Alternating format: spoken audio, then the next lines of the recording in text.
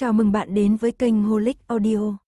Mời bạn theo dõi bộ truyện quyền sùng ngỗ tác y phi truyện của tác giả Bộ Nguyệt Thiền Trang.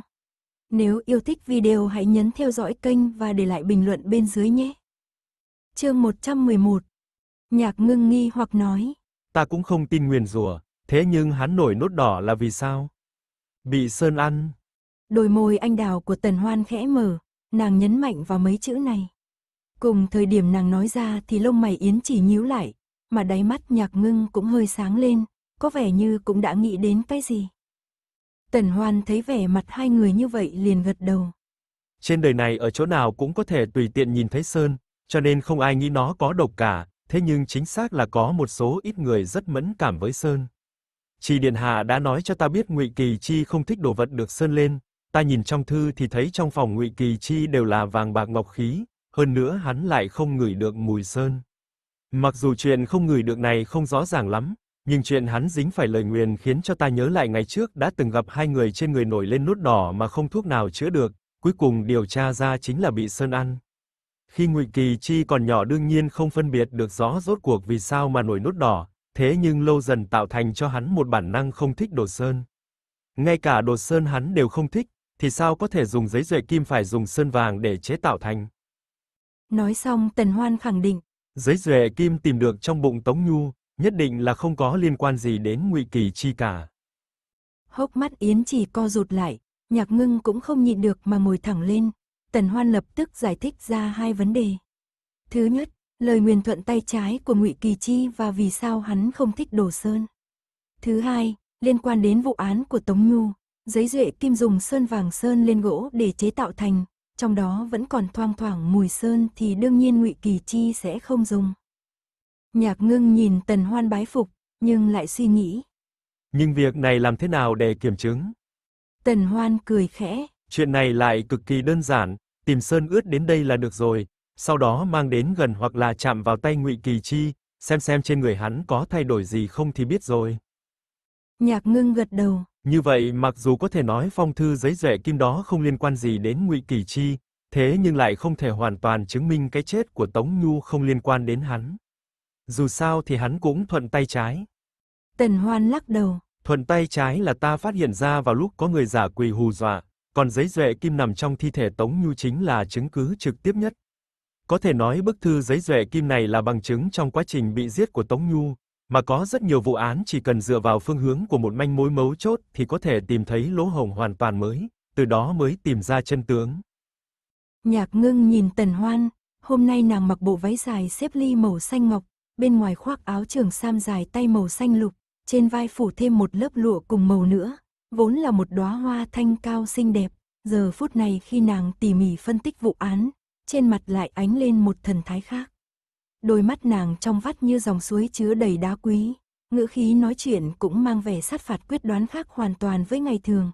Loại khí thế bức người này làm phai nhạt hẳn đi sự ôn nhu điềm tĩnh của nàng. Nhạc ngưng nhìn một lúc rồi đột nhiên lại ảo não. Trước đây ánh mắt nàng vụng về biết bao nhiêu nên mới cho rằng Tần Hoan chỉ là một tiểu nữ từ nhà phố quý bình thường, mềm mại yếu ớt như hoa sen trước gió. Ngay cả chuyện thuận tay trái, bức thư này cũng giúp ta. Tần Hoan lại vỗ vỗ lên bức thư. Vừa rồi trong địa lao, gã sai vặt của Ngụy Kỳ Chi có nói, Ngụy Ngôn Chi và Ngụy Kỳ Chi huynh đệ tình thâm, khi còn bé cùng nhau đọc sách luyện chữ cho nên Ngụy Ngôn Chi cũng học theo Ngụy Kỳ Chi thuận tay trái. Mà theo như ta nhìn thấy ở trong thư, tin tức có hơi khác so với lời tên sai vặt đó nói. Nhạc ngưng nhíu mày. Thế nào, tên sai vặt kia nói dối? Tần Hoan lắc đầu. Không, hắn không nói sai, hắn chỉ nói chuyện này theo hướng tốt đẹp lên thôi. Trong mắt nhạc ngưng tràn đầy khó hiểu, sắc mặt tần hoan hơi tối. Trong nhà có hai hài tử, một người là con trưởng, một người là con vợ lẽ, con vợ lẽ mọi thứ đều tốt, hiểu rõ đạo lý anh em tôn kính lẫn nhau. Còn con trai trưởng, mặc dù tính nết không có gì hư hỏng nhưng lại có một thiếu sót, bẩm sinh, không sai, có thể nói đó chính là chỗ thiếu sót. Ngụy Kỳ chi thuận tay trái khiến cho hắn chịu nhiều chê trách, lại cộng thêm việc bị nổi nốt đỏ, khiến cho tin đồn về lời nguyền cứ thế lan truyền. Ngụy lão gia có lẽ là chỉ cảm thấy tiếc nuối, thế nhưng Ngụy gia chủ mẫu thì sao? Nhạc Ngưng ngạc nhiên, sao lại liên quan đến cả Ngụy gia chủ mẫu rồi? Tần Hoan cầm bức thư lên rồi quơ quơ. Trong này có nói, mẫu thân của Ngụy Kỳ Chi cũng chính là tiểu thư của quốc công phủ. Trước đây khi Ngụy Kỳ Chi còn chưa sửa đổi thói quen thì bà ta đã từng cưỡng ép bắt Ngụy Ngôn Chi cũng phải dùng tay trái tập viết, nếu như hắn không nghe theo, nhẹ thì đánh chửi, nặng thì sẽ nhốt hắn một mình bên trong viện không cho phép ra ngoài. Tần Hoan vừa nói đến nội tình bên trong Ngụy phủ thì vừa liếc mắt sang nhìn Yến Trì, ngày trước hắn nói muốn thay thái trưởng công chúa điều tra Ngụy phủ và quốc công phủ, nhưng Tần Hoan không ngờ được rằng hắn lại thu được tin tức tỉ mỉ như thế, thậm chí ngay cả chuyện từ mười mấy năm trước cũng có thể moi ra. Tần Hoan không khỏi hoài nghi liệu Yến Trì có sắp xếp cơ sở ngầm bên trong Ngụy phủ và quốc công phủ hay không. Tần Hoan thu hồi lại suy nghĩ rồi tiếp tục nói. Một tiểu hài tử, trời sinh ra dùng tay trái lại bị bắt buộc phải dùng tay phải, còn một hài tử khác, sinh ra có thể dùng tay phải nhưng lại bị cưỡng ép đổi sang dùng tay trái. Nhạc ngưng, a một tiếng. Ý của ngươi là, ngụy nhị công tử cũng có thể dùng tay trái. Tần Hoan gật đầu. Chuyện này xảy ra vào hơn 10 năm trước, nhưng ngụy gia chủ mẫu đã giấu giếm chuyện này cực kỳ kín đáo. Hiện tại người biết chuyện đã cực kỳ ít rồi, cho nên không ai biết ngụy ngôn chi cũng có thể dùng tay trái. Ngược lại, nhắc đến thuận tay trái, tất cả mọi người đều nghĩ ngay đến ngụy kỳ chi, cho nên nếu hung thủ để lại manh mối thuận tay trái thì đương nhiên sẽ khiến cho người ta nghi ngờ ngụy kỳ chi. Nhạc ngưng gật đầu lia lịa, cảm thấy Tần Hoan nói cái gì cũng đều đúng cả. Cho nên, bây giờ ngươi hoài nghi ngụy ngôn chi. Tần Hoan để bức thư xuống, khóe môi hơi nhếch lên. dáng vẻ ngụy kỳ chi ngươi cũng thấy rồi, lại thêm những suy đoán này nữa, hiện tại ta tin tưởng hắn không liên quan gì đến cái chết của Tống Nhu, chỉ là do có người cố ý để lại manh mối dẫn dắt chúng ta nghi ngờ đến Ngụy Kỳ Chi. Mà hung thủ không nghĩ đến ta lại tìm được giấy rẻ kim tử trong bụng Tống Nhu ra, đại khái là hắn cũng không tính đến bước này. Hung thủ không phải là Ngụy Kỳ Chi, người cũng nghe thấy lời nói của tên sai vặt, Ngụy Ngôn Chi càng thân thiết hơn với quốc công phủ, cũng tiếp xúc nhiều với Tống Nhu hơn, có thể là Ngụy Ngôn Chi cấu kết với Tống Nhu không? Tống Nhu biết đánh đàn, Ngụy Ngôn Chi cũng cực kỳ quen thuộc với cầm khúc. Trong thư này có nói, mặc dù trước đây Ngụy Kỳ Chi đã từng yêu thích đánh đàn thế nhưng đó đã là chuyện của 6, 7 năm trước, hiện tại đã thích nuôi ngựa thuần ngựa rồi. Ngược lại, đến tận bây giờ Tống Nhu vẫn thích đánh đàn. Đêm đó bên bờ hồ Lệ Thủy, Ngụy Ngôn Chi nói sở dĩ hắn nhận ra được khúc nhạc đó là bởi vì nghe Ngụy Kỳ Chi đàn hàng ngày, thế nhưng Ngụy Kỳ Chi đánh đàn là chuyện của 6, 7 năm trước. Còn khúc nhạc Âu Lộ Vong Cơ kia nói về một đôi tình nhân như con cò và hải âu sau khi quy ẩn núi rừng, sống cuộc đời rong chơi nhàn hạ, người đánh đàn nhất định sẽ hiểu được ý nghĩa của khúc nhạc này chính xác là nhắc đến tình yêu đôi lứa. Nếu 6, 7 năm trước, lúc đó Ngụy Kỳ Chi mới 14 đến 15 tuổi thì có lẽ còn chưa yêu thích ai cả, sao có thể ngày nào cũng đàn khúc nhạc này được. Chỉ ai đã có người trong lòng, lại hy vọng cùng với hắn sống cuộc sống ẩn cư không tranh với đời thì mới yêu thích khúc nhạc này. Ánh mắt nhạc ngưng sáng lên. Cho nên người đàn lên khúc nhạc này chính là Tống Nhu. Tần Hoan gật đầu. Khả năng này là cao nhất, ngoại trừ chuyện đó thì Ngụy Ngôn Chi cũng có khả năng giả quỷ dọa người. Hắn căn bản đã biết Tống Nhu có bộ giá y thứ hai, ngược lại, Ngụy Kỳ Chi ngay cả mặt của Tống Nhu còn chưa gặp được, thậm chí mấy ngày đó cũng không thể đến quốc công phủ thì làm sao biết được Tống Nhu có bộ giá y thứ hai. Ngụy Ngôn Chi biết, hắn còn quen thuộc với người trong đội đưa dâu, muốn xuống tay thì dễ dàng hơn nhiều. Mà cũng chỉ có hắn nhìn thấy ta nghiệm thi lần đầu, có thể do hắn lo lắng ta nhúng tay vào vụ án của Tống Nhu, muốn làm cho ta sợ hãi bỏ chạy, không dám quay lại hầu phủ nữa. Dừng một chút rồi Tần Hoan tiếp tục nói. Còn có những lời đồn về ta, vốn là truyền ra từ Đông Uyển, cũng chính là vì muốn đuổi ta ra khỏi hầu phủ. Sau đó ở bên bờ hồ lệ thủy có người muốn hại ta, ta đoán khả năng lớn cũng là mánh khóe của hắn. Quận chúa có nhớ trước đó một ngày ngẫu nhiên chúng ta đã gặp được Ngụy Ngôn Chi ở trong phủ. Hắn nói hắn không biết Tống Nhu ở Nghĩa Trang thế nào, ta không hề phòng bị đã trả lời Tống Nhu rất tốt. Ta đoán câu này của ta đã khiến cho hắn biết được Hoắc Chi Phủ đã mời ta đến Nghĩa Trang nghiệm thì, sợ ta thật sự nghiệm ra cái gì nên hắn mới muốn giết ta ở bờ hồ lệ thủy. Tần Hoan cười cười. Ngay cả chuyện sau này hỏa thiêu nghĩa trang, đêm đó Ngụy Ngôn Chi cũng ở cùng chúng ta. Chỉ có vài người chúng ta biết sáng sớm hôm sau phải đi nghiệm thi. Lúc này nhạc ngưng lại nhanh nhảu hơn cả Tần Hoan. Hắn đã chứng kiến tài nghệ của ngươi, không làm thì thôi chứ đã làm là làm tới cùng, thế là hắn đi đốt nghĩa trang luôn. Tần Hoan gật đầu. Đúng là như vậy. Lồng ngực nhạc ngưng phập phồng, nàng cũng phấn chấn hẳn lên. Nếu nói như vậy thì mọi thứ đều có lý rồi. Hắn chính là nghi phạm lớn nhất. Mặc dù ngoài mặt hắn huynh đệ tình thâm với Ngụy Kỳ Chi, cùng được mẹ cả nuôi dưỡng, thế nhưng trên thực tế thân phận hắn và Ngụy Kỳ Chi lại chênh lệch cực kỳ lớn. Nếu như Ngụy Kỳ Chi xảy ra chuyện, hắn sẽ trở thành con trai duy nhất của Ngụy phủ, lúc này mới có cơ hội chân chính được Ngụy lão gia và Quốc công phủ coi trọng. Nói đến đây Nhạc Ngưng nhớn mày. Mặc dù đây chỉ là phỏng đoán của chúng ta thôi nhưng lại rất hợp tình hợp lý, có điều chúng ta còn chưa có chứng cứ. Lúc hắn tỉ thí cùng với ta, thậm chí không hề có dấu hiệu nào để lộ ra tay trái cũng có thể dùng võ. Tần Hoan híp mắt. Chỉ sợ hắn sẽ không lưu lại chứng cứ gì rõ ràng. Nhưng nói đến chứng cứ thì có một biện pháp duy nhất. Biện pháp gì? Nhạc ngưng còn phấn khích hơn Tần Hoan, bởi vì trong suy nghĩ trước đây của nàng thì Ngụy Môn Chi thật sự không hề giống một tên hung thủ, nhưng chính vì thế thì nàng mới càng nóng lòng muốn đi chứng thực. Tần Hoan nhìn thẳng vào ánh mắt nôn nóng của Nhạc Ngưng. Tìm thấy đầu của Tống Nhu. Chương 112, Chi phủ bắt người một. Nếu nói như thế, Ngụy Kỳ chi quả thật không liên quan đến vụ án này.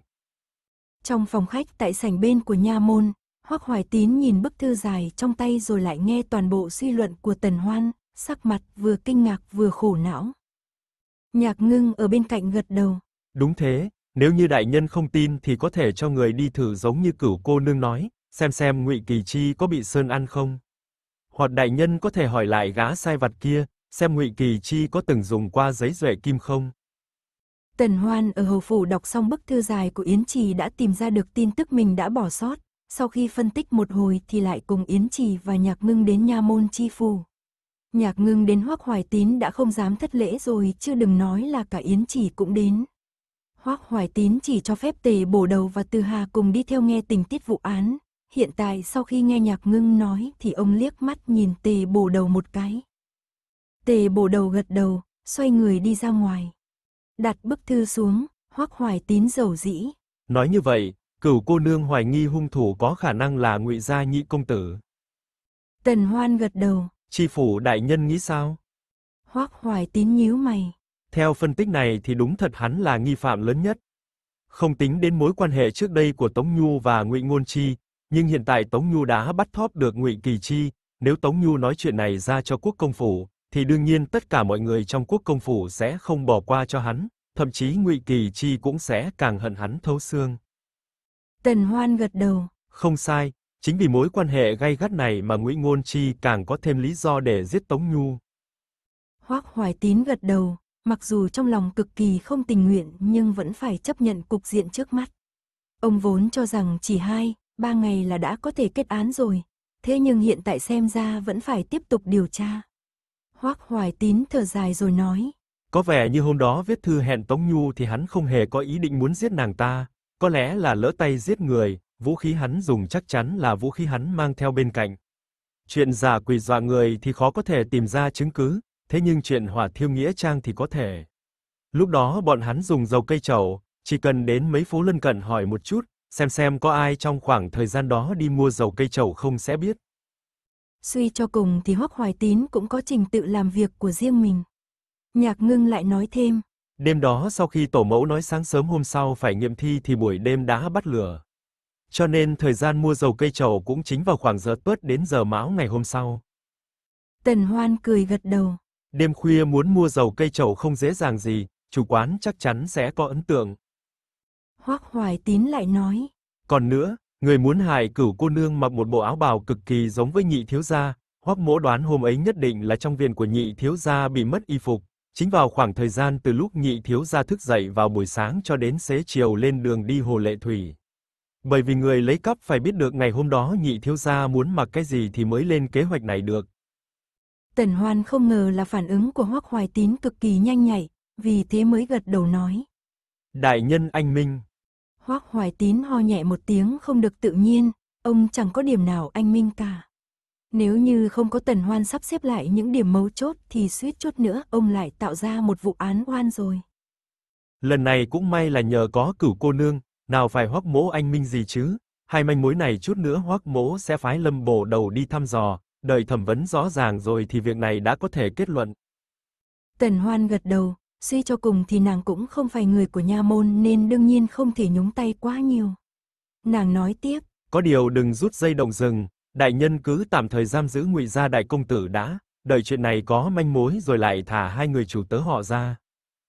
Hoắc Hoài Tín gật đầu lia lịa. Đó là đương nhiên. Nói xong câu này Hoắc Hoài Tín nghĩ nghĩ rồi nói tiếp. Xin cửu cô nương hỗ trợ ghi chuyện giấy duệ kim vào trong hồ sơ, Từ Hà, người viết đi. Từ Hà vâng lời, vội vàng cầm lấy giấy bút, Tần Hoan thuật lại toàn bộ quá trình làm thế nào để phát hiện ra giấy duệ kim. Đợi cho Từ Hà viết xong thì Hoắc Hoài Tín cung kính cầm lấy phong thư dài kia đi đến trước mặt Yến Trì. Đã làm phiền trì điện hạ đi chuyến này rồi, thật sự là hạ quan có chỗ không phải phép, phong thư này xin trả lại cho trì điện hạ, đa tạ điện hạ hỗ trợ. Hoắc Hoài Tín cực kỳ cung kính, lại hơi có vẻ sợ hãi. Yến Trì nhận lấy thư, Việc này chi phủ đại nhân cứ cảm tạ cửu cô nương là được, nếu không có cửu cô nương nhắc đến thì có rất nhiều chi tiết trong này ta cũng không để ý đến. Hoắc Hoài Tín vội vàng tán thành. Đương nhiên, đương nhiên phải cảm tạ cửu cô nương nhiều hơn hết. Bên này đang nói chuyện thì Tề Lâm cũng đã từ nhà lao quay về. Hắn đi cũng đã được gần nửa canh giờ rồi, lúc quay về cả người toàn mùi sơn. Đại nhân, quả nhiên thành công. Hai tròng mắt Tề Lâm tỏa sáng, giọng nói cũng cực kỳ kích động. Đại nhân, tiểu nhân bôi sơn nước lên trên cánh tay của Ngụy Kỳ Chi, quả nhiên là chỉ hai khắc sau thì trên cánh tay hắn đã nổi lên nốt đỏ và mẩn ngứa. Tên sai vặt kia gào thét nói có phải tiểu nhân muốn sát hại công tử nhà hắn không, còn nói công tử nhà hắn không thể ngửi được mùi của sơn nước. Tiểu nhân lại hỏi đến chuyện giấy duệ kim, còn mang giấy duệ kim ra cho tên sai vặt phân biệt, hắn khóc lóc nói công tử nhà hắn không hề dùng loại giấy này. Tề Lâm nói hết một lèo thì bắt đầu thở dốc, sắc mặt Hoắc Hoài Tín cũng phấn chấn hẳn lên. Đúng là thành công rồi. Suy đoán của cửu cô nương quả nhiên chính xác, đại công tử này không phải chịu lời nguyền rủa gì cả mà chỉ là bị sơn ăn mà thôi. Hoắc Hoài Tín nói ra xong không khỏi nghĩ đến những nội tình phức tạp ở Ngụy phủ viết trong bức thư dài. Ngụy Kỳ Chi chỉ là bị bệnh sơn ăn vậy mà lại bị đồn thành bị nguyền rủa, trong đó cũng chẳng biết có phải do người ta cố tình hay không. Ổn định lại suy nghĩ Hoắc Hoài Tín nói luôn. Tiếp theo đây có một việc muốn ngươi đi điều tra, tìm đến các thợ thủ công dọc trên đường từ Hầu Phủ đến Nghĩa Trang, xem xem có ai biết một người vào khoảng giờ tuất đến giờ mão đêm đó đến mua dầu cây trầu hay không. Tề Lâm cũng biết Nghĩa Trang cháy vì cái gì, cho nên chỉ hơi động não sẽ hiểu được nguyên nhân bên trong, hắn vội vàng gật đầu đáp lại. Hoắc Hoài Tín lại nhìn Nhạc Ngưng nói. Việc liên quan đến Hầu Phủ, để Hoắc Mỗ tự mình đi hỏi. Nhạc Ngưng liền đứng dậy. Cũng được, hiện tại bọn ta có thể hồi phủ rồi. Yến Trì cũng đứng dậy, nhìn Tần Hoan rồi nói. Cửu cô nương muốn đi đâu? Lúc này sắc trời đã không còn sớm nữa, Tần Hoan nhìn bên ngoài rồi nói. Không còn sớm nữa, hôm nay cũng không cần phải thay thuốc cho Thái trưởng công chúa nên hiện tại Tần Hoan về Tần Phủ đã, để mai Tần Hoan đến Hầu Phủ sau. Nhạc ngưng nhíu mày. Ngươi về Tần Phủ thì sao có thể biết tiến triển vụ án nữa? Hay là cứ đến Hầu Phủ đi, lỡ trong lúc đó có xảy ra biến cố gì thì ngươi cũng có thể biết được ngay. Cho đến hiện tại cũng có thể nói là Tần Hoan đã biết được toàn bộ chi tiết trước sau của vụ án này, cho nên đương nhiên cũng quan tâm đến kết quả. Mà Ngụy Ngôn Chi lại đang ở hầu phủ, nếu như hung thủ thật sự là hắn. Tần Hoan nhíu mày sau đó đột nhiên nói. Ta vừa mới nhớ đến hôm trước Ngụy Nhị công tử hôm trước bị bệnh nặng, hiện giờ không biết đã tốt hơn chưa. Nói xong Tần Hoan liếc nhìn Nhạc Ngưng một cái, ngay lập tức Nhạc Ngưng hiểu được ý nghĩ của Tần Hoan, nàng gật đầu. Đúng vậy, lần trước ngươi kê đơn cho hắn, hôm nay đến xem lại xem hắn có tốt lên hay chưa. Yến chỉ nhíu mày, đáy mắt hiện lên một ánh sáng sắc bén. Hai người các ngươi, cẩn thận vẫn hơn. Tần Hoan cong môi đi ra ngoài. Không sao, hiện tại hắn vẫn là ngụy gia nhị công tử luôn luôn chu đáo lễ độ. Nhạc ngưng đi nhanh đuổi kịp Tần Hoan, Hoắc Hoài Tín ở sau lưng muốn nói lại thôi, nghĩ nghĩ rồi lại lựa chọn im lặng. Ngụy Ngôn Chi ở trong hầu phủ, mà hiện giờ vẫn chưa bị hoài nghi đến nên có lẽ cũng sẽ không đến mức gây ra cái gì nguy hiểm. Yến chỉ nhìn chằm chằm vào bóng lưng Tần Hoan một lúc rồi mới đi theo ra ngoài. Đoàn người nhạc ngưng đi trước một bước, Hoắc Hoài Tín ở phía sau dẫn theo người của nha môn đi chung. Xe ngựa dừng lại ở trước cửa hầu phủ thì Tần Hoan nói. Nếu như đã đến hầu phủ rồi thì đương nhiên ta muốn đến thỉnh an thái trưởng công chúa trước đã. Nhạc ngưng thấy nàng lễ phép nên rất vui vẻ cùng nàng đến viện của thái trưởng công chúa. còn Yến Trì trở về Tùng Viên. Gặp Thái trưởng công chúa xong Nhạc Ngưng và Tần Hoan vẫn chưa kể tình tiết mới nhất của vụ án cho bà biết. Mọi người ngồi nói chuyện một hồi sau đó mới đi về hướng Đông Huyền. Đến Đông Huyền thì có vẻ như thị vệ canh bên ngoài cửa phòng Ngụy Môn Chi lại không nghĩ đến hôm nay Nhạc Ngưng và Tần Hoan vẫn đến. Bọn họ thoáng kinh ngạc rồi sau đó mới hành lễ. Bái kiến quận chúa, bái kiến cửu cô nương. Vẻ mặt Nhạc Ngưng cười lạnh nhạt. Hôm qua đến xem bệnh cho công tử nhà ngươi, không biết hôm nay đã đỡ nhiều chưa? Ánh mắt thị vệ lóe sáng nhưng lại thở dài. Tốt hơn một chút, có điều công tử vẫn không thoải mái, xin quận chúa và cửu cô nương chờ một lát để tiểu nhân đi thông bẩm. Nhạc ngưng gật đầu, thị vệ cũng xoay người đi vào phòng. Ánh mắt nàng đảo qua thì thấy được một đống cho than ở trong góc sân, nàng nhíu mày. Sao vẫn còn phải đốt nhiều cho than như vậy? Hôm qua chẳng phải ngươi đã nói là không để cho trong phòng quá nóng sao? Tần Hoan cũng nhìn theo, nàng vừa nhăn mày thì cửa phòng đã mở ra. Quân chúa, cửu cô nương, công tử mời hai vị vào trong. Tần Hoan bình tĩnh thu hồi ánh mắt rồi cùng với nhạc ngưng đi vào phòng. Vừa bước vào phòng thì Tần Hoan nhăn mày, gian phòng này quả nhiên giống như nhạc ngưng nói, nhiệt độ vẫn nóng bức y hệt hôm qua. Tần Hoan nhìn xung quanh chỉ thấy ở chính giữa lò lửa lớn kia là than củi đang bị đốt cháy đỏ lên. Lò lửa cũng giống hệt với hôm qua, luôn luôn phát ra âm thanh của lửa cháy. Nàng lại nhìn qua kìm sắt, vết đen vẫn dính chặt trên đầu kìm, có lẽ Ngụy Môn Chi và thị vệ của hắn đều không để ý. Bài kiến quận chúa, cửu cô nương, sao hai người lại đến đây? Ngụy Môn Chi vẫn đang khoác áo lông cừu đứng bên trong phòng, có vẻ như mới từ trên giường ngồi dậy. Nói xong Ngụy Môn Chi ho nhẹ một tiếng rồi vội vàng giơ tay lên mời. Quận chúa, cửu cô nương, mau ngồi đi. Hôm qua đến thăm ngươi, thấy ngươi bệnh nặng nên ta hơi lo lắng, vì thế hôm nay mới lại kéo cửu cô nương cùng đến xem ngươi có tốt lên chút nào không. Bệnh thương hàn có nặng có nhẹ, gần đây ngươi mệt nhọc lại còn lo lắng sầu khổ quá độ, chính là lúc dễ mắc bệnh tổn thương thân thể nhất, cho nên ngươi không được sơ suất. Nhạc ngưng không hiểu y thuật, thế nhưng những câu này lại nói cực kỳ dễ dàng. Ngụy Ngôn Chi kéo chặt lại y phục trên người rồi cười khổ. Thuốc cửu cô nương cho tại hạ đã bắt đầu uống, đã có chuyển biến tốt rồi. Quân chúa và cửu cô nương không cần lo lắng đâu, khiến cho hai vị lại đến đây lần nữa, tại hạ quả thực là xấu hổ. Nhạc ngưng và tần hoan cùng ngồi xuống ghế rộng bên cạnh cửa sổ, nhạc ngưng nghe thế liền nhướng mày. Cũng không phải là nói như vậy, hiện tại án mạng của Tống Tiểu Thư cũng sắp kết thúc rồi, người cũng không thể ngã bệnh được. Kết án? Ngụy Ngôn Chi thoáng thất thần. Đã sắp kết án rồi. Nhạc ngưng hơi kinh ngạc. Nhị công tử không biết sao, hôm qua đã bắt được đại ca ngươi. Đáy mắt ngụy Ngôn Chi vừa có vẻ kinh ngạc kích động vừa có vẻ đau xót. Bị bắt, gia huynh quả thật bị bắt rồi. Nhạc ngưng thở dài. Ta và cửu cô nương vừa mới từ nha môn chi phủ về, đã nhìn thấy đại ca ngươi. Đại ca ngươi bị thương ở chân trái, khuôn mặt cũng có ba phần giống ngươi. Ngụy Ngôn Chi vừa nghe xong thì đột nhiên đứng bật dậy. Cuối cùng lại là, thế gia huynh nói thế nào? Có thừa nhận là hắn đã giết Tiểu Nhu không? Thị vệ đưa trà đán, Tần Hoan nhận lấy rồi chỉ ngồi yên lặng uống trà, nghe nhạc ngưng và Ngụy Ngôn Chi đối thoại. Cảm ơn bạn đã ghé thăm kênh Holic Audio. Chương 113. Nhạc ngưng lắc đầu nói. Dù sao cũng là một mạng người, làm gì có chuyện dễ dàng như vậy được, không chỉ có như vậy đại ca ngươi còn nói hắn căn bản không hề cấu kết với Tống Nhu. Nói xong nhạc ngưng cười nhạo một tiếng. Ngươi nói xem, câu này buồn cười biết bao nhiêu, tất cả người của quốc công phủ và ngụy phủ có khi đều đã biết được việc này. Hắn niệm vào Cẩm Châu ở xa kinh thành nghìn dặm nên cứ muốn lừa gạt chúng ta. Ngụy Ngôn Chi thoáng thất thần rồi nhíu mày. Hắn thật sự nói như vậy? Thế chi phủ đại nhân định làm gì tiếp theo? Nhạc ngưng cười lạnh. Chi phủ đại nhân đã bắt đầu dùng hình, lúc chúng ta đến thì đại ca ngươi đã huyết nhục mơ hồ rồi, theo ta thấy thì hắn cũng chẳng cứng miệng được bao lâu nữa đâu, chắc chắn sắp khai ra rồi. Đáy mắt Ngụy Ngôn Chi có gì đó lóe lên rồi vụt tắt. Gia huynh, Gia huynh tâm cao khí ngạo, cũng là người luyện võ, công phu của hắn không thua kém gì ta cả. Chi phủ đại nhân muốn làm cho hắn mở miệng đương nhiên là không đơn giản.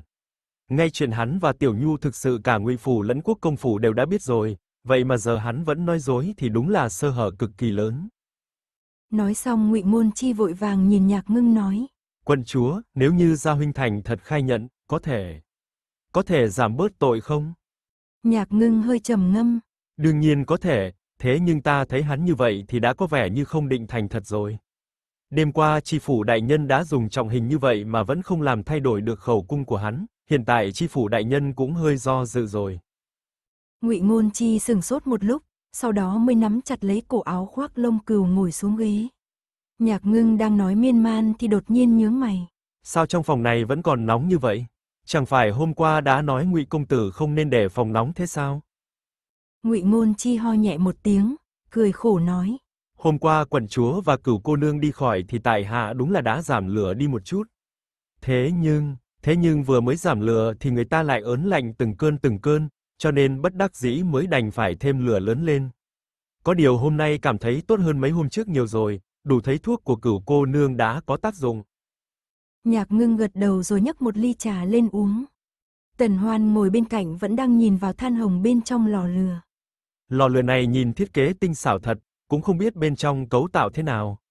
Nhìn qua thì thấy có vẻ sưởi ấm tốt hơn cả địa long. Địa long là hệ thống sưởi ngầm dưới đất. Nói xong Tần Hoan định đến nhìn lò lửa, nhưng thấy vậy Ngụy Ngôn Chi đã vội đứng lên. Lò lửa dơ bẩn, tù tiểu thư xin cẩn thận. Loại lò này thông dụng ở phía Bắc hơn vì phía Bắc lạnh hơn ở đây, không ngờ là ở hầu phủ cũng có. Tần Hoan dừng chân lại, lại nhìn về phía kìm sắt kia. À, thông dụng ở phía Bắc à? Ta nhớ hình như trong Trung Dũng hầu phủ cũng có, nhưng không biết là có giống với cái này hay không. Trước đây cửu tiểu thư đã từng ở lại Trung Dũng hầu phủ 3 năm, nên đương nhiên cũng hiểu biết nhiều chuyện ở phía Bắc. Ngụy Ngôn Chi thấy nàng đi thẳng về hướng kìm sắt liền phân phó thị vệ của hắn. Còn không mở nắp lò ra thay cửu tiểu thư. Thị vệ kia nghe thấy cũng lập tức tiến lên, hắn cầm kìm lên rồi mở nắp lò ra. Nắp lò vừa mở thì nhiệt nóng bên trong bốc thẳng ra ngoài. Tần Hoan nhìn vào bên trong lò chỉ thấy có một lớp than hồng rực ở bên trên còn bên dưới cũng chẳng còn gì khác cả. Khóe môi nàng hơi cong. Có vẻ như không giống nhau thật, cái này tinh xảo hơn, bên dưới còn có thêm một tầng lưới nữa, như vậy mới thông khí khiến cho tất cả than trong lò được đốt kiệt, thảo nào mà nhiệt độ trong phòng tăng nhanh như vậy. Nói xong Tần Hoan lại xoay người lại đi về ghế ngồi, thị vệ thấy thế mới đóng nắp lò lại. Nhạc ngưng không hiểu Tần Hoan xem lò lửa kia để làm gì, chỉ nói. Lò lửa này là ngày xưa lúc tổ mẫu mới đến đây, cứ sợ mùa đông ở đây giá lạnh nên mới sai người làm ra lò lửa giống với ở Kinh Thành. Tần Hoan tiếp lời. Phải rồi, mặc dù ở phía Nam không lạnh như phía Bắc thế nhưng lại ẩm ướt hơn nhiều, cực khổ nhất là người lớn tuổi. Nói xong nàng truyền chủ đề, nhìn sang Ngụy Môn Chi nói. Ta thấy trên mặt nhị công tử có hơi hồng, có vẻ như bị hun nóng rồi. Nói xong Tần Hoan đứng dậy. Xin nhị công tử vươn cổ tay tới. Đây là nàng muốn thỉnh mạch, Ngụy Ngôn Chi không nghi ngờ gì mà vén tay áo đưa cổ tay ra ngoài. Ngón tay Tần Hoan vừa chạm vào bắt mạch cho hắn, vẻ mặt hơi chuyên chú một lát rồi mới thu tay lại, khóe môi nàng hơi cong. Đúng thực là có chuyển biến tốt đẹp hơn so với hôm qua, hàn khí đã tản đi một chút rồi, nhị công tử nhớ rõ phải tiếp tục uống thuốc thì mới tốt. Tần Hoan hơi ngừng một chút rồi nói tiếp. Có điều sắc hồng trên mặt nhị công tử cho thấy ở đây đang bị nóng quá rồi, không biết bên trong phòng nhị công tử có mở cửa sổ không? Ngụy Ngôn Chi lắc đầu. Chưa từng mở, bởi vì... Tần Hoan xoay người đi về phía phòng trong. Bệnh này của nhị công tử, trong phòng bắt buộc phải thông gió, thế nhưng cũng phải chú ý đến hướng gió, tuyệt đối không thể để gió thổi thẳng vào giường của nhị công tử. Ngụy Ngôn Chi nhìn thấy Tần Hoan muốn đi vào phòng trong nên nhớn mày định đứng dậy, thế nhưng Tần Hoan đã dừng chân lại, hóa ra là nàng chỉ đứng ngoài quan sát mà thôi. Một lát sau Tần Hoan chỉ vào cửa sổ lật ở bên ngoài. Chỗ này ở bên ngoài, cửa sổ chỗ này nên mở hé một cánh ra thì tốt hơn. Ngụy Ngôn Chi thở phào, ngay lập tức mở cửa sổ ra theo lời Tần Hoan nói. Cửa vừa mở ra thì không khí mát mẻ bên ngoài lập tức tràn vào, khiến cho tinh thần nhạc ngưng cũng sảng khoái hẳn lên, nàng vừa uống trà vừa nói. Như vậy mới đúng chứ, ban này vừa bước vào đây là đã thấy ngột ngạt rồi. Ngươi cứ ở mãi trong phòng như thế này, chẳng phải bệnh tật cũng tràn ngập khắp nơi sao? Ngụy Ngôn Chi vội vàng gật đầu. Vâng, đa tạ cửu cô nương chỉ điểm. Tần Hoan chậm rãi lắc đầu. Hiện tại nhị công tử cũng là bệnh nhân của ta, cho nên điều gì cần nói ta đều sẽ không giấu giếm. Ngụy Ngôn Chi nhìn Nhạc Ngưng và Tần Hoan khẽ cười. Có thể được quận chúa và cửu cô nương quan tâm đến chính là may mắn của tại hạ. Dừng lại một chút Ngụy Ngôn Chi mới có vẻ như vừa nhớ ra cái gì. Phải rồi, nếu như Gia Huynh đã ở trong nhà lao rồi thì không biết có thể cho tại hạ gặp hắn một lần không? Ở Cẩm Châu hắn chỉ có một thân một mình, tại hạ muốn đi thăm một chút. Nhạc ngưng ra vẻ bị làm khó. Việc này ta cũng không quyết định được, phải hỏi ý của tri phủ đại nhân xem sao. Có điều vụ án này vẫn còn đang thẩm vấn, chỉ sợ nhị công tử không gặp được đại công tử dễ dàng thôi. Đợi đại công tử khai ra hết rồi thì muốn gặp hắn cũng không còn khó khăn nữa. Dừng một chút nhạc ngưng lại nói. Hoặc là nhị công tử có thể đến khuyên nhủ đại công tử nhận tội. Mặt ngụy ngôn chi do dự. Quân chúa có điều còn không biết, ngay từ trước lúc ở ngụy phủ thì tại hạ cũng chỉ như thiên lôi, gia huynh chỉ đâu tại hạ đánh đó. Lần này gia huynh bị bắt lại còn bị luận tội thì trong lòng đương nhiên sẽ buồn bực tức giận, bây giờ nếu tại hạ đến mà còn khuyên hắn nhận tội, chỉ sợ gia huynh sẽ càng tức giận. Lúc đó chỉ sợ lại phản tác dụng rồi. Trong mắt nhạc ngưng xoay chuyển. Nói như thế cũng đúng. Sau đó nàng lại hỏi ngụy ngôn chi tiếp. Sao thế? Trước đây ở ngụy phủ thì đại công tử hay ức hiếp nhị công tử lắm hả? Trên mặt ngụy ngôn chi có vẻ cay đắng, thế nhưng miệng lại nói. Không, không có, gia huynh, chỉ là tính cách hơi bướng bỉnh thôi. Như thế cũng đúng, hắn là con ruột của mẫu thân, đương nhiên thân phận tôn quý hơn so với tại hạ. Nhạc ngưng liếc nhìn tần hoan, câu nói này của ngụy Ngôn Chi, ngoại trừ mấy tiếng phủ nhận ban đầu cho phải phép thì mấy câu sau đều đang ẩn ý rằng ngụy Kỳ Chi thật sự luôn luôn ức hiếp hắn, mà biểu hiện trên mặt hắn cũng cực kỳ có ý như vậy. Nếu ban đầu họ không hoài nghi ngụy Môn Chi thì có lẽ đã bị kỹ thuật diễn xuất của hắn che mắt rồi. Hiện tại xem như nhạc ngưng đã hiểu được ý của Tần Hoan, vẻ bề ngoài của ngụy Môn Chi đúng thật là một người làm huynh đệ rất hoàn mỹ. Nhị công tử xin bớt thương tâm, bất chấp trước kia thế nào, hiện tại hắn đã bị bắt nhốt vào nhà lao rồi, cũng coi như trả giá đắt cho tính nết của hắn. Chỉ cần hắn chịu nhận tội thì coi như đã định được tội, sau này thế nào thì đương nhiên do hắn đáng phải chịu. Câu này do Nhạc Ngưng nói ra là thích hợp hơn hết, dù sao trước đây Ngụy Ngôn Chi cũng từng nói ra cảnh ngộ của hắn với Nhạc Ngưng. Ngụy Ngôn Chi nghe thế thì trên mặt cảm kích. Mặc dù vậy nhưng dù sao hắn vẫn là huynh trưởng, tại hạ nghĩ đến thế thì thật sự vẫn không đành lòng. Phụ thân và mẫu thân biết rồi thì không biết sẽ thương tâm đến mức nào. Nhạc Ngưng lại nói. Nhị công tử Hà tất phải thương cảm cho kẻ mưu hại tính mạng của cả những người bên cạnh mình. Toàn bộ đều là trừng phạt xứng đáng dành cho hắn, đúng người đúng tội, đã mưu hại mạng người rồi chẳng lẽ sau này lại muốn sống tiêu diêu tự tại sao? Ngụy Ngôn Chi thở dài, giọng nói cũng đứt đoạn. Đúng là như vậy, hai. Tần Hoan nhìn Nhạc Ngưng nói chuyện mặt không đổi sắc, không nghĩ đến Nhạc Ngưng lạnh lùng ít nói trước đây lại diễn tốt đến như vậy. Nàng lén cười trong lòng, còn Nhạc Ngưng lại nói tiếp. Có điều nếu từ đầu đến cuối hắn vẫn cứng miệng thì cũng không phải là chuyện tốt gì. Nhạc ngưng nói xong câu này thì lông mày ngụy môn chi nhíu lại, tần hoan tiếp lời. Phải đó, trước đây ta đã xem qua rất nhiều bản vẽ, trong đó có những người thậm chí có thể dựa vào ý chí mà vượt qua hết tất cả những đại hình của nha môn. Ngụy Ngôn Chi đã được chứng kiến tận mắt Tần Hoan nghiệm thi, cũng biết nàng giúp rất nhiều cho vụ án này. Nếu cứ thế này, chỉ sợ Gia huynh nhận đòn trừng phạt càng ngày càng nặng, có cách nào để hắn nhận tội sớm hơn để giảm bớt cung hình không? Tần Hoan nghĩ nghĩ. Trừ phi tìm ra chứng cứ mấu chốt. Nói đến đây Tần Hoan dường như nhớ ra cái gì. Tính ra thì đến giờ vẫn chưa tìm được đầu của Tống Tiểu Thư, nhị công tử hiểu tính tình đại công tử nhất, nên nhị công tử thử đoán xem đại công tử sẽ giấu đầu của Tống Tiểu Thư ở đâu. ngụy Ngôn chi cụp mắt xuống rồi sau đó lại ngước lên, hắn lắc lắc đầu. Chuyện này thật sự ta đoán không ra, đại ca giết người, có lẽ sẽ giấu đầu người đi rất kỹ. Đại ca là người thông minh nên có lẽ đã giấu ở một nơi mà chúng ta không thể nghĩ đến. Tần Hoan thở dài. Vậy thì khó giải quyết rồi. Nhạc ngưng lắc đầu. Chi phủ đại nhân lại tốn công nữa rồi. Ngụy Ngôn Chi cũng hơi thổn thức. Gia huynh đã lâm vào bước đường này, có lẽ vẫn còn tâm lý muốn tin vào may mắn, nếu như người kinh thành đến được đây rồi thì không biết là. Tần Hoan nhíu mày. Chẳng lẽ nhị công tử muốn để cho đại công tử thoát tội hay sao? Ngụy Ngôn Chi vội nói. Không phải không phải, đương nhiên không phải, ý của tại hạ là Ngụy phủ và Quốc công phủ chắc chắn sẽ có tác động. Có lẽ, có lẽ gia huynh sẽ được giảm bớt tội nghiệt.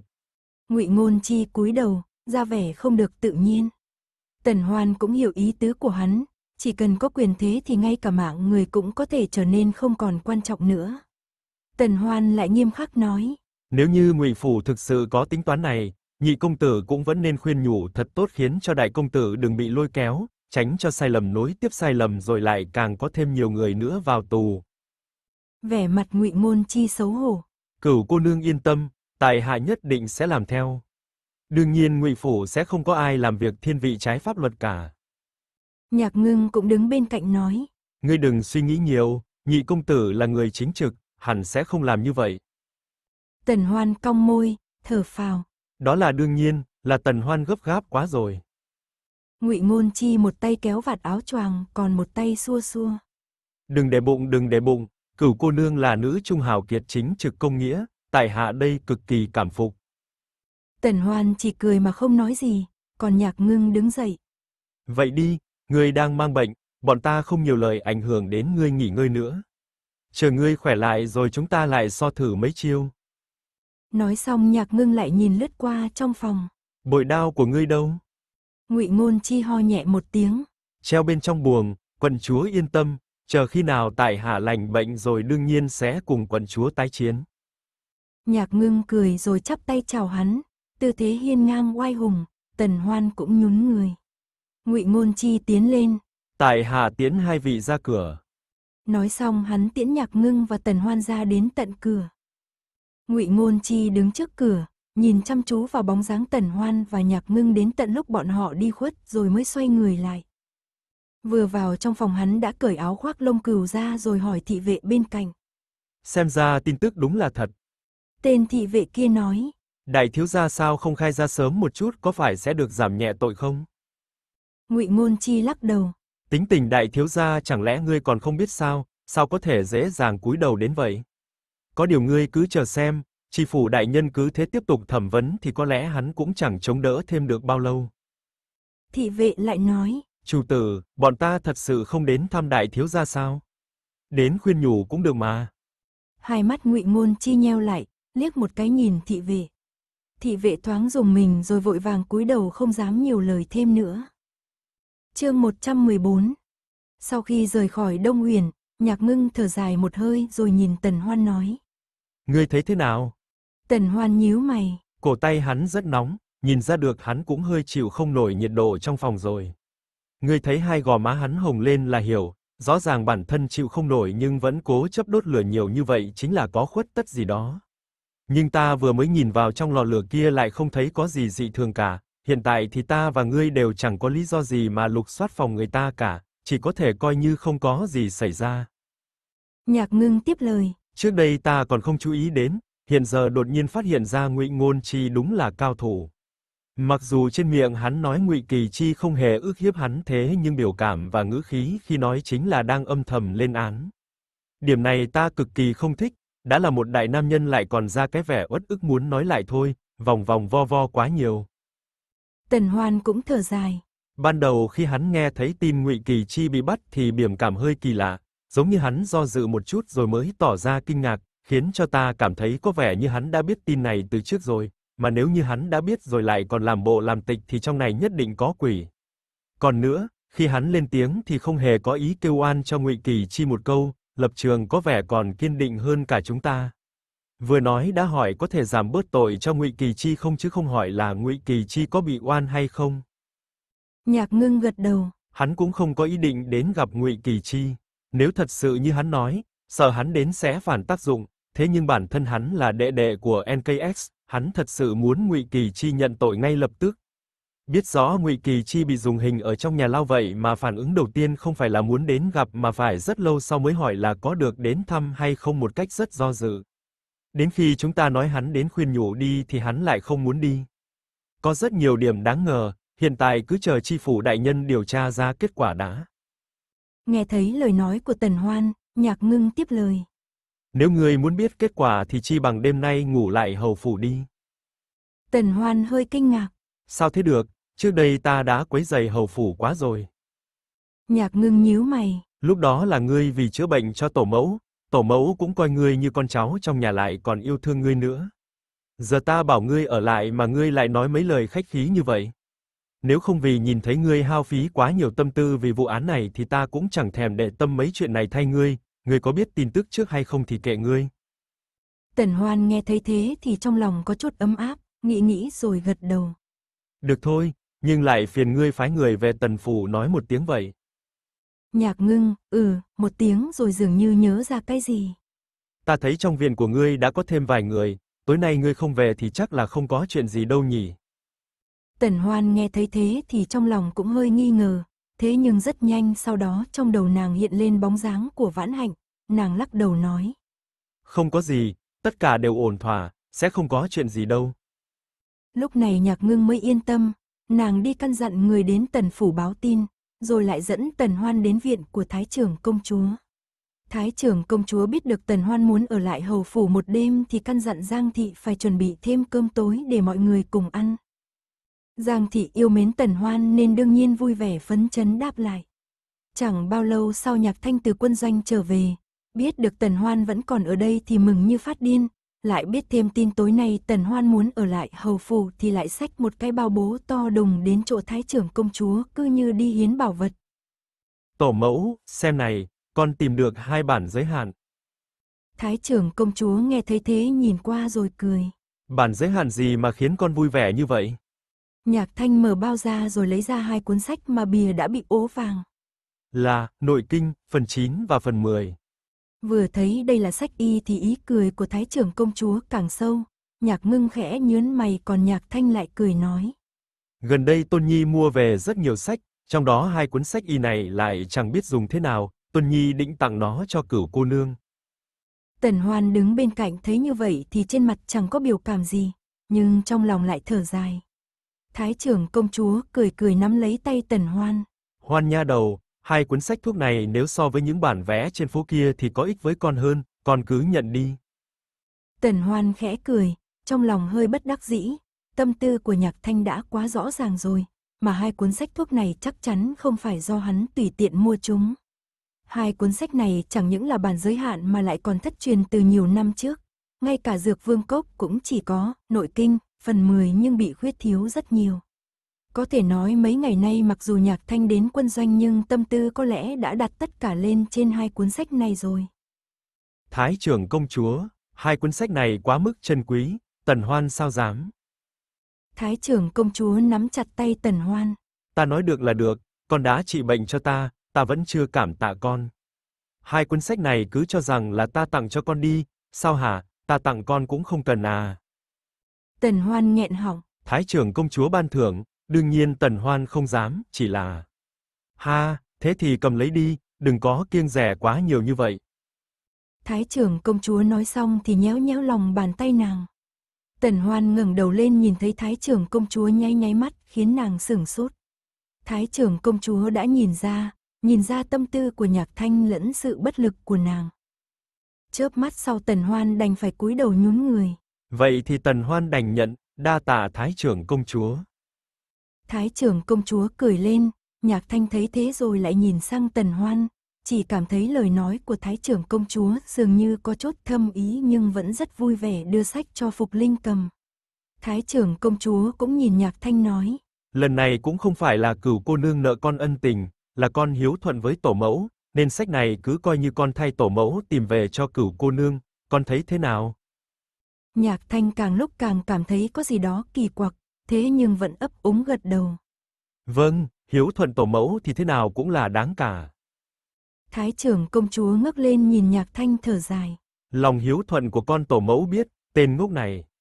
Con vào quân doanh cũng phải cẩn thận một chút, đừng để bị thương.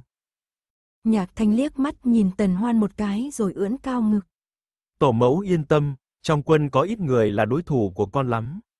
Huống chi con là nam tử hán đại trượng phu, có bị vài vết thương nhỏ cũng chẳng tính là gì cả. Thái trưởng công chúa cười lắc đầu, nhìn thấy bóng dáng của Lục Vân lấp ló ở ngoài cửa liền nói. Được rồi, nên dùng bữa tối rồi. Đi thôi, chúng ta đến tích thiện đường. Tích thiện đường là nơi mà bình thường hầu phủ dùng để khai yến đãi khách. Hôm nay vì mọi người cùng nhau ăn cơm thế nên Giang Thị mới kê bàn ở trong tích thiện đường. Ngoại trừ người nhạc gia thì Tần Hoan và Yến Trì cũng đều là thượng khách cả. Thái trưởng công chúa ngồi ở giữa, bên phải là Yến Trì, bên trái là Tần Hoan, ngay cả Nhạc Quỳnh cũng chỉ có thể ngồi ở vị trí bên dưới Yến Trì. Nhạc Quỳnh cười hề hề. Mẫu thân còn cho người chuẩn bị cả túy hoa âm, đủ thấy hôm nay mẫu thân cực kỳ vui vẻ. Vừa nói chuyện thì lục tụ đã mang bình rượu đến, Thái trưởng công chúa nói. Rượu này là từ 10 năm trước ta đã mang theo đến Cẩm Châu, mấy năm nay cũng uống không ít rồi nên hiện giờ còn lại không nhiều lắm. Hôm nay mở một bình, mọi người uống thoải mái đi, trước đây lúc hoan nha đầu ở lại phủ thì ta còn chưa tỉnh lại, sau đó con bé cũng không ở lại đây. Tối nay hoan nha đầu ở đây, chúng ta cùng nhau dùng một bữa cơm coi như lão thái bà này tỏ lòng biết ơn cứu mạng đối với hoan nha đầu. Hoan nha đầu có dám uống rượu không? Tần hoan ngồi ở thượng vị thành ra trong lòng rất hồi hộp, nghe thấy vậy liền nói. Cùng thái trưởng công chúa uống một ly thì vẫn là dám. Thái trưởng công chúa cười rộ lên, chỉ chỉ vào mấy người nhạc ngưng. Mấy đứa này trước đây đều bị ta lừa gạt uống rượu, Giá Nhi và Thanh Nhi đều thấy cay rồi sau đó đến ăn cơm cũng không muốn ăn, chỉ có Ngưng Nhi là ôm chung rượu nhỏ lên uống ừng ực mà vẫn không biết đấy là gì. Sau đó khuôn mặt bé xíu đỏ bừng bừng lên, không khóc không nháo gì cả mà cứ thế ngủ luôn, khiến cho tính su sợ hãi một trận. Ý cười thái trưởng công chúa rất rõ ràng, mặt mày cũng dạng dỡ hơn khi nhắc lại chuyện năm xưa. Tần Hoan nhìn vẻ mặt thái trưởng công chúa, nhất thời mới hiểu được, thái trưởng công chúa xuất thân hoàng thất, khi còn nhỏ chán hẳn là tùy tiện không câu nệ, chỉ về sau gà cho người ta thì mới thu liễm lại tính tình, nhưng sâu thẳm trong xương cốt thì huyết thống quý tộc hoàng gia của bà vẫn không thay đổi, ngay cả tính cách tùy tiện này cũng vậy. Cho nên lúc bà làm tổ mẫu thì mới có thể làm ra mấy chuyện vừa to gan lại vừa thú vị thế này. Giang Thị và Nhạc Quỳnh Ý cười đầy mặt thế nhưng Giang Thị vẫn hơi oán trách. Mẫu thân còn nhớ rõ, khi đó Ngưng Nhi mới chỉ 4 tuổi, bình thường còn khóc nháo đòi ngủ với con, duy chỉ có hôm đó ngoan ngoãn y như con mèo, khiến con hoảng sợ một phen. Thái trưởng công chúa vừa cười vừa lắc đầu. Cả đám các con, lá gan quá nhỏ, nhớ năm đó. Mới nói đến đây đột nhiên ngừng lại, thái trưởng công chúa thở dài một cái. Thôi, đều đã trở thành lão thái bà rồi, không nhắc mấy chuyện này nữa, lục tụ rót rượu cho mọi người đi. Tiểu thất cũng uống đi, nói ra thì trong số túy hoa âm này cũng có của phụ thân ngươi năm đó tặng cho ta. Yến chỉ nhướng mày. Phụ thân đưa cho người, phụ thân cũng không uống rượu mà. Thái trưởng công chúa cười nhạo. Hắn không uống rượu, hừ, chẳng qua là sau khi nhập ngũ mới thay đổi tính tình thôi. Con nếm thử xem, xem túy hoa âm này so với rượu khác ở kinh thành thì thế nào. Yến chỉ nghe thấy thế cũng nâng ly. Kính cô nãi nãi. Nói xong liền ngửa đầu định uống. Vết thương của điện hạ chưa lành, không thể uống rượu. Mắt thấy Yến chỉ đã định uống rồi Tần Hoan mới lên tiếng. Lời nói này của nàng có hơi đột ngột, nói ra rồi thì ngay cả bản thân nàng cũng sững sờ, người khác càng sừng sốt hơn nữa. Còn Yến Trì vẫn để nguyên ly rượu ở bên môi. Ha, ta quên mất điểm này. Thái trưởng công chúa cười lớn tiếng. Bỏ đi, bỏ đi, tiểu y tiên ngồi ở đây, hai người bọn ta đều là bệnh nhân của nàng, đương nhiên phải nghe lời nàng rồi. Rượu này hôm nay ngươi không có phúc rồi. Bỏ rượu xuống, đổi sang uống trà đi. Lời vừa nói ra thì mọi người trên bàn đều cười rộ lên. Yến chỉ hạ ly rượu xuống với tốc độ thật chậm thật chậm, còn Tần Hoan lại cong môi cười, nhìn rượu được rót đầy trong ly của mình. Túy hoa âm này vốn là rượu cống phẩm của Đại Chu nên chỉ có trong hoàng thất, dân dân cực kỳ khó có được. Ngày xưa Tần Hoan đã được nếm qua một lần, có thể nói là đến giờ vẫn chưa quên được. Nàng không hề cảm thấy bản thân đã ngăn cản nhã hứng uống rượu của Yến Trì, mà chỉ mỹ mãn uống cạn một ly cùng với thái trưởng công chúa. Rượu vừa chảy xuống cổ, mùi vị thơm nồng tinh khiết và mát lạnh đã tản mát khắp người. Bây giờ Tần Hoan mới phát hiện ánh mắt của Yến Trì vẫn luôn nhìn chằm chằm vào nàng, cũng không biết có phải mình say rồi hay không mà đáy lòng nàng lại thầm hư một tiếng không quan tâm. Hơn nữa Giang Thị bên cạnh đang gắp thức ăn cho mọi người, Tần Hoan cơm no rượu say nên không hề chú ý đến ánh mắt của Yến Trì đã dần dần sâu sắc lên. Ăn cơm xong thì Phục Linh đỡ Tần Hoan đi về chỗ nhạc ngưng ở, thật ra túy hoa âm cũng không khiến người ta say nặng lắm, thế những không biết có phải thân thể cửu tiểu thư này không tiếp thu được rượu hay không mà Tần Hoan bắt đầu cảm thấy hơi choáng váng, vừa mới bước vào phòng đã buồn ngủ rồi. Chờ Phục Linh hầu hạ nàng rửa mặt xong thì Tần Hoan đã nằm xuống giường rồi ngủ luôn. Nhạc ngưng thì bấy lâu nay chứng kiến được sự dũng mãnh của Tần Hoan, nhìn thấy cảnh đó không khỏi ôm bụng cười. Do ảnh hưởng của túy hoa âm nên Tần Hoan đã ngủ cả đêm không mộng mị, vừa đến dạng sáng ngày hôm sau, Tần Hoan mới mơ màng mở mắt ra đã nghe thấy giọng nói vừa cuống quýt lại vừa vui mừng của Lục Kỳ. Tiểu thư, tri phủ đại nhân dẫn người vào Đông Nguyền rồi. Tần Hoan sừng sốt, ngay lập tức ngồi bắn dậy, hoắc tri phủ đến bắt ngụy môn chi rồi. chương 115, dụ hung thủ lộ diện một. Hoắc tri phủ dẫn theo hơn 10 nha sai, còn có cả tề bồ đầu lẫn từ ngỗ tác nữa, hiện tại đã vào đến Đông Nguyền rồi. Lục Kỳ đi theo phía sau lưng Tần Hoan và Nhạc Ngưng, giọng nói cực kỳ gấp gáp. Án mạng của Tống Nhu là làn sương mù bao phủ toàn bộ hầu phủ, hiện tại Hoắc Hoài Tín hùng hổ tiến vào hầu phủ khiến cho tất cả hạ nhân đều hơi kinh hoàng. Tần Hoan và Nhạc Ngưng cũng đi rất nhanh, vừa ra khỏi viện của Nhạc Ngưng quả nhiên đã thấy mấy tôi tớ đang tụ lại một chỗ rồi nhìn về phía đông uyển bàn tán xôn xao. Vừa nhìn thấy Nhạc Ngưng lộ diện, vẻ mặt mọi người trở nên nghiêm trang rồi vội vàng im miệng. Nhạc ngưng liếc mắt cảnh cáo đám người một cái rồi bước nhanh về hướng Đông uyển Mới sáng sớm đã đến đây rồi, xem ra hai đầu mối hôm qua đã điều tra rõ ràng rồi. Giọng nói nhạc ngưng nghiêm túc, Lục Kỳ cũng nói. Hôm qua mọi người trong viện nhị thiếu gia cũng bị gọi đến hỏi chuyện, hỏi ra mới biết đúng thật là nhị thiếu gia bị mất một cái áo choàng, chẳng qua hạ nhân giấu giếm không báo cáo lên. Sắc mặt nhạc ngưng trầm trọng.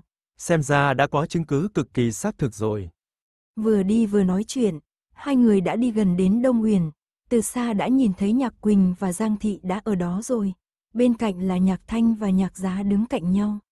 Nhìn tiếp lên phía trước là Thái trưởng công chúa cầm tay Yến Trì đứng ở hàng đầu, tất cả người trong Đông Huyền đều đứng ở bên ngoài, ngoài ra còn có một số hạ nhân của hầu phủ đang đứng vây xem. Ánh mắt Tần Hoan trầm xuống. Xem ra Hoắc Chi phủ gặp phiền toái rồi. Nhạc Ngưng nhướng mày rồi bước nhanh đến. Nhạc Thanh là người đầu tiên nhìn thấy Nhạc Ngưng và Tần Hoan đến đây nên vội vàng xoay người lại đón. Cuối cùng thì các ngươi cũng đến, Hoắc Chi phủ dẫn người đến muốn bắt nhị công tử, đây là có chuyện gì? Hai hôm nay Nhạc Thanh đều đến quân doanh cho nên không biết án mạng của Tống Nhu đã có tiến triển, mới vừa nói xong thì Nhạc Thanh lại tiếp lời.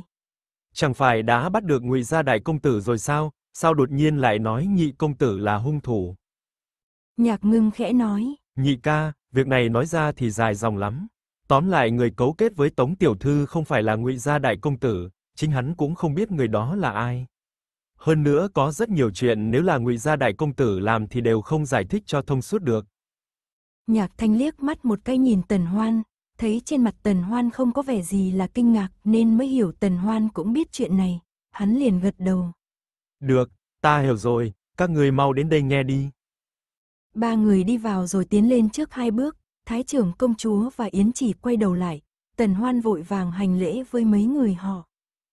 Thái trưởng công chúa vẫy vẫy tay với Tần Hoan và Nhạc Ngưng, hất hất cắm về phía trước. Hai đứa quỷ xảo quyệt các ngươi, chuyện này chẳng phải các ngươi đã sớm biết rồi sao? Nói xong lại nhìn Yến Chỉ oán trách. Cả ngươi cũng biết. Yến Chỉ khẽ mỉm cười, Nhạc Ngưng lại ôm một bên cánh tay còn lại của Thái trưởng công chúa lắc lắc. Đây là không dám khiến tổ mẫu phải lo nghĩ. Thái trưởng công chúa lắc đầu bất đắc dĩ, còn bên này Tần Hoan lại đứng yên lặng nhìn hoàn cảnh bên trong viện. Hoắc Hoài Tín và Tề Lâm đứng ở chính giữa viện, Nha Sai đứng bên cạnh, phía sau còn có một nam tử trung niên mặc áo vải thô, còn Ngụy Môn Chi khoác áo lông cừu, dáng vẻ có vài phần suy yếu đứng ở bên ngoài cửa chính. Hiện tại trên mặt hắn vừa có vẻ kinh ngạc lại vừa hơi uất ức, Hắn vừa liếc mắt đã thấy Nhạc Ngưng và Tần Hoan đã đến nên mới lập tức hỏi ngược lại Hoắc Hoài Tín. Chi phủ đại nhân, người nói tại hạ là người hại chết Tiểu Nhu. Lời, lời này của chi phủ đại nhân quả thực là căn cứ vào đâu? Mặt Ngụy Ngôn Chi tràn đầy vẻ bất đắc dĩ, thậm chí trông còn như đang giờ khóc giờ cười, giống như Hoắc Hoài Tín bày trận lớn như vậy là đang đùa giỡn với hắn vậy. Hôm nay Hoắc Hoài Tín mặc quan phục, Rõ ràng là tư thế của người đến làm việc công, nghe thấy thế ông cũng hơi kinh ngạc, thân hình hơi mập lùn nhưng vẫn toát ra uy thế của chi phủ. Ngụy Ngôn Chi, ngươi không nhận. Ngụy Ngôn Chi lại liên tục cười khổ. Chi phủ đại nhân muốn ta phải nhận cái gì? Tài hạ còn đang trên giường bệnh nghe được tin chi phủ đại nhân bất ngờ mang theo nha sai xông vào trong viện, ta còn đang suy nghĩ liệu có phải án tử có biến hóa nên muốn tra hỏi đám thị vệ hay không. Thế nhưng hoàn toàn không nghĩ đến chi phủ đại nhân thực ra là tới đây để bắt tại hạ. Ngụy Ngôn Chi nói giọng khàn khàn. Chi phủ đại nhân, đang yên đang lành lại diễn tuồng gì vậy? Suy cho cùng thì Hoắc Hoài Tín cũng đã thụ lý biết bao nhiêu án mạng, dù trước đây có chốt yêu thích Ngụy môn Chi, thậm chí còn nhận định Ngụy Kỳ Chi là hung thủ, thế nhưng hôm nay điều tra lại từ đầu, ông thân là quan phụ mẫu của Cẩm Châu phủ, cũng không muốn danh tiếng thanh quan của mình có bất kỳ tì vết nào nên đương nhiên cực kỳ thận trọng, không thể trên tay mình sinh ra bất cứ vụ án oan nào cả. Ông nhớn mày rồi nghiêm nghị nói. Chuyện của Tống Nhu, là ngươi nói cho bọn ta biết có liên quan đến Ngụy Kỳ Chi, mà ngày đó ngươi là đầu lĩnh đội đưa dâu, cho nên tất cả người trong đội ngũ do ngươi sai khiến, ngươi là người có cơ hội lớn nhất có thể hại Tống Nhu. Còn nữa, Âu Cỏ Vong Cơ, là khúc nhạc Tống Nhu yêu thích nhất, ngươi lại nói là ngươi nghe được ở chỗ Ngụy Kỳ Chi. Ngụy Ngôn Chi, ngươi cho rằng ngươi che giấu tốt khiến cho chúng ta chẳng bao giờ có thể nghĩ ngươi là hung thủ, thế nhưng con người một khi đã làm gì hay chưa làm gì thì luôn luôn sẽ để lại dấu vết. Cuối cùng thì ngươi đã sơ suất rồi. Ngụy Ngôn Chi trợn mắt nhìn Hoắc Hoài Tín, rồi lại nhìn sang đám người thái trưởng công chúa đang đứng bên ngoài viện, hắn vừa kinh ngạc vừa cười khổ. Lời này của chi phủ đại nhân thật đúng là chuyện mà tại hạ nói cho chi phủ đại nhân thì tất cả mọi người trong quốc công phủ đều biết, chi phủ đại nhân chỉ cần đến hỏi cứu cứu và cứu mẫu hoặc ngoại tổ thì bọn họ đều biết chuyện này. Nếu như không vì phối hợp với chi phủ đại nhân tra án thì vì sao tài hại lại nói cho chi phủ đại nhân biết? Đây là bê bối của quốc công phủ và ngụy phủ, bất luận thế nào tài hạ cũng không muốn vấy bẩn thanh danh của cả hai phủ. Hơi ngừng lại một lát, ngụy Ngôn Chi nói tiếp. Còn nữa, chi phủ đại nhân nói tài hạ là đầu lĩnh đội đưa dâu nên có thể tùy ý sai khiến. Nhưng tiểu nhu chết rồi thì chắc chắn cả hai phủ sẽ quy trách nhiệm lên đầu tại hạ, tại hạ hà tất phải tự làm khổ mình như vậy. Còn khúc nhạc kia, nhiều năm trước đích thật là khúc nhạc đại ca yêu thích nhất, đại ca tâm cao khí ngạo, không thích trốn quan trường, thích sinh hoạt tự do tự tại. Khúc vong cơ này nói về chuyện một đôi phu thê quy ẩn núi rừng, cũng đúng với ý muốn thoát ly thế tục của đại ca. Còn tiểu nhu thích đàn khúc nhạc nào nhất thì tại hạ không biết, cho dù là thích mấy khúc vong cơ thì chắc chắn là cũng nghe đại ca đàn nên mới thích theo. Ngụy Ngôn Chi cắn chặt răng. Chi phủ đại nhân, từ lúc xảy ra chuyện đến nay có lúc nào là tại hạ không phối hợp không? Có lúc nào không tận tâm tận lực? Hiện giờ đại nhân đã sắp kết án rồi thế nhưng tại sao lại đột nhiên hướng đầu giáo về phía tại hạ? Nếu như tại hạ hại tiểu nhu thì hà tất, hà tất phải tận lực giúp chi phủ đại nhân như vậy. hoắc Hoài Tín nghe xong cũng sững sờ, có vẻ như cũng nhớ ra đúng là Ngụy môn Chi không hề có lúc nào không phối hợp cả. Thế nhưng nghĩ đến kết quả điều tra hôm qua thì ông lại cười lạnh. Được, vậy các ngươi nhìn xem người này có quen không? Ngụy Ngôn Chi nghe thấy thế thì trong mắt hơi có nghi vấn, Hoắc Hoài Tín quay đầu lại nhìn về Nha Sai đứng đối diện. Nha Sai thấy thế liền di chuyển thân thể, để lộ ra một nam tử trung niên đứng ở sau cùng. dáng vẻ nam tử đó rất bình thường, quần áo cũng cực kỳ mộc mạc, hắn vừa tiến lên phía trước liền nhìn thấy cảnh tượng quá lớn như thế, trên mặt hiện lên vẻ sợ hãi. Hoắc Hoài Tín nhìn hắn rồi chỉ về hướng Ngụy Môn Chi. Ngươi xem, đêm hôm đó tìm ngươi mua dầu cây trầu chính xác là người nào? Nam tử trung niên kia ngẩng đầu nhìn về hướng Ngụy Môn Chi rồi sau đó dứt khoát chỉ vào một tên thị vệ mặc áo lam đứng bên cạnh và Ngụy Môn Chi. Là, là hai người kia, lúc ấy trời đã vào canh ba rồi, tiểu nhân cũng đã đóng cửa, đang định tắt đèn đi ngủ thì thấy có người đến gõ cửa. Tiểu nhân mở cửa ra thì nhìn thấy vị tiểu ca kia. Nam tử trung niên chỉ vào thị vệ áo lam bên cạnh Ngụy Môn Chi. Vị tiểu ca kia đến đập đập cửa, sau đó từ trong khe cửa tiểu nhân thấy được vị công tử này. Vị công tử này đứng ở bên đường, quay nghiêng người về phía tiểu nhân, lúc ấy tiểu nhân thấy kỳ quái cho nên mới nhớ được dung mạo của vị công tử này. Vị tiểu ca kia vừa lên tiếng đã muốn mua dầu cây trầu, lúc đó tiểu nhân chỉ mặc có một bộ áo ngoài, nhà kho cũng đã khóa lại rồi nên căn bản là không muốn bán. Thế nhưng vị tiểu ca kia ra giá hẳn 10 lượng bạc cho nên tiểu nhân. Tiểu nhân dù có buôn bán cả tháng trời cũng chưa chắc đã kiếm đủ 10 lượng bạc, cho nên tiểu nhân mới đi mở nhà kho ra lấy dầu cây trầu. Trong kho có hai thùng, lúc tiểu nhân nói câu đó thì có nhìn thoáng qua bên đường, vị công tử này cũng vừa mới xoay người lại thúc giục tiểu ca cho nên tiểu nhân mới lại một lần nữa nhìn thấy mặt hắn. Tiểu nhân khẳng định, chắc chắn không thể nhận sai người. Lúc nhìn thấy nam tử trung niên này xuất hiện, vẻ mặt Ngụy Ngôn Chi vẫn hoàn toàn bình tĩnh, thế nhưng thị vệ áo lam kia lại nhăn mày một cái.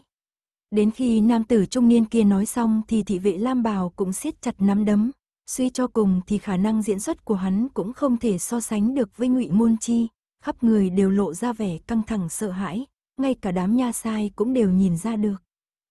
Hoắc Hoài Tín khẽ hất hàm. Nửa đêm đi mua dầu cây trầu, lại đúng vào đêm mà nghĩa trang bắt lửa. Ngụy Ngôn Chi ngươi còn gì để nói không? Trước đó khi còn ở trên thuyền, chỉ có vài người chúng ta biết dạng sáng hôm sau cửu cô nương phải đến nghiệm thi. Ngươi nửa đêm đến nghĩa trang phóng hỏa chẳng phải là vì không muốn để cửu cô nương nghiệm thi sao? Ngươi sợ cửu cô nương nghiệm ra chứng cứ có liên quan đến ngươi cho nên mới hủy thi diệt tích. Ta nói có đúng không? Ngụy Ngôn Chi vẫn đứng yên lặng, từ đầu đến cuối ngay cả lông mày hắn cũng không hề nhúc nhích.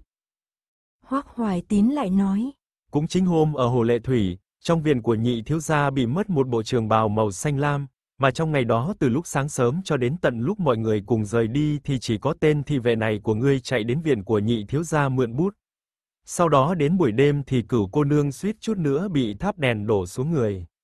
Ngươi sợ càng ngày cửu cô nương càng tìm ra thêm được nhiều chứng cớ cho nên mới muốn hại tính mạng của cửu cô nương. Nói xong Hoắc Hoài Tín nhìn về phía thị vệ áo lam đang đứng run rẩy. Hôm đó người cải trang nhị thiếu gia chính là hắn. Ngụy Ngôn Chi khẽ nheo mắt, nhưng vẫn chưa hề lên tiếng. Không định nói chuyện à? Sắc mặt Hoắc Hoài Tín lạnh lùng, lớn tiếng căn dặn. Người đâu, áp tải chủ tớ hai người này về Đại Lao Nha môn thẩm vấn cẩn thận. Không nói gì ư, vào đến Đại Lao rồi mà không nói câu nào thì mới thật sự là có bản lĩnh. Câu này của Hoắc Hoài Tín vừa gấp gáp lại vừa nhanh nhẹn, Ngụy Môn Chi chỉ nhăn mày chứ không hề bị dọa sợ. Bỗng nhiên thị vệ áo lam lại tiến lên rồi quỳ phịch một cái xuống đất. Chi phủ đại nhân, công tử nhà ta có nỗi khổ tâm, cũng không phải là muốn hủy thi diệt tích đâu.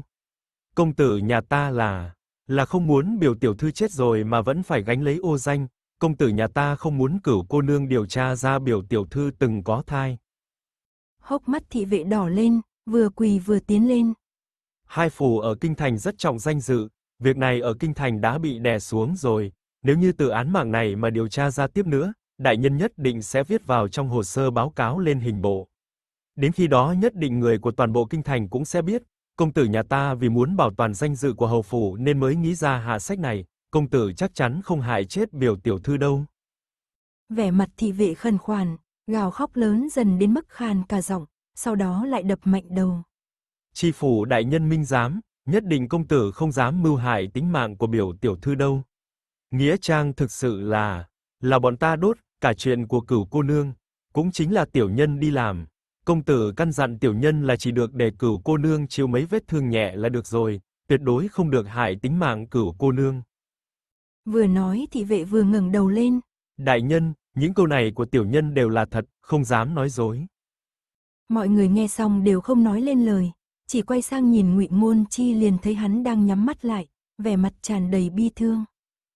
Phần này đến đây là hết. Mời các bạn theo dõi tiếp các video khác trên kênh. Nếu các bạn yêu thích kênh, hãy nhấn theo dõi nhé. Cảm ơn các bạn.